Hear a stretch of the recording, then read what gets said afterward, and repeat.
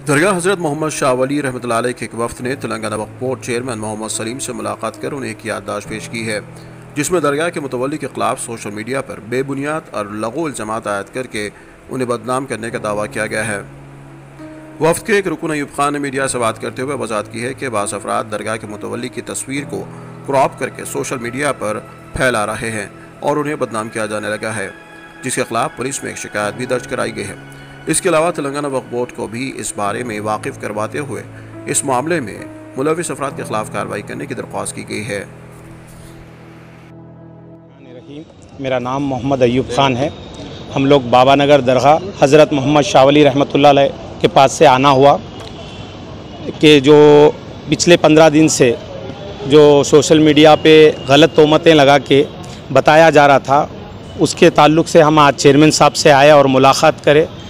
और वो जो इल्ज़ाम लगाए जा रहे थे, उसके ऊपर हमने महमूद अली साहब को कंप्लेंट किया और मैं शुक्रगुज़ार हूँ मोहम्मद अली साहब का, जिन्होंने हमारी पूरी तफसीर बात सुनी और सुनने के बाद में पुलिस से एसीपी लेवल में एक इंक्वायरी डाली, जो इंक्वायरी के नतज आने लगे, जिनके जो फेक एलिगेशन लगाए थे, उनके ऊपर जो है, आप देख सकते एफ़ बुक हुए हैं।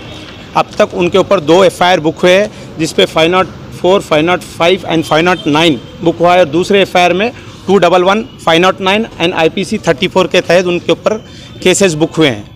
ये जो है सरासर फ़ोटोओं को जो है क्रॉप करके मुतवली साहब के बेटे जिनका नाम शेख गुलाम शाह है इनके बारे में जो है बदगुमानी फैला के जो है इनका नाम ख़राब करने की कोशिश की गई आपके कुछ सवाल है तो? इसकी वजह क्या 2020 में ये लोग एक कमेटी फॉर्म करे। उसको स्टेक पाने के लिए जो है उनको कोई रास्ता नहीं था जो वक्फ को भी फिर रहे थे।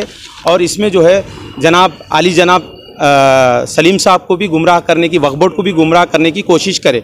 ये 2020 में जो है ये लोग कमेटी डाले। कमेटी डाल के वो जो है कमेटी को यहाँ पे अमेंडमेंट करा कर दरगाह पे जो है, उनके अख्तियार जताने के लिए और नायब मुतवली साहब को जो है, वो दरगाह से जो है बर्खास्त कराने की एक बहुत बड़ी साजिश थी। और उसके लिए उनके कोई मौजू नहीं मिल रहा था। नायब मुतवली साहब का कोई मौजू नहीं मिल रहा था तो फ़ोटोआँ बनाकर, क्रॉप्ट करके उसको, फेक फ़ोटोज़ बना के उनके बेटे पे, उन पे जो है, फेक एलिगेशंस लगाए गए। तो उस पुलिस से इंक्वायरी हुई वो भी एसीपी लेवल में इंक्वायरी होके जो है आज दूध का दूध और पानी का पानी हो गया और जो लगाए गए इल्ज़ाम थे उनके ऊपर ही एफआईआर दर्ज हुए और सच साबित हो गया। तो है क्रॉप फ़ोटो से जो क्रॉप करके बना है इनके हाथ में नहीं नहीं वो क्रॉप्टेड है वो। वो क्रॉप्टेड है त्रिशूल जो है वहाँ पे हर किस्म के लोग आते हैं। हिंदू मुसलमान सब सभी धर्म के लोग आते हैं। तो एक राधम्मा बोल के जो औरत है वो जो है, बेचारी जो है, उसकी बच्ची की शादी नहीं हो रही थी। कुछ घर के मसाइल थे। उस तरीके से आई तो उन्हें जो है, गुजराती है। तो कभी भी उसके पास जो है त्रिशूल होता है। तो उसको लेके आकर वो बता रही थी कि, बाबा, ये जो है, हमारे भगवान का हथियार है। ये बोल तो इसको लगा के बोले, अगर इसमें कोई ताकत है, अगर इसमें कोई सच्चाई है तो मेरे को फना कर दे बोल के आप जो है, सर पे रख के बताए उसको।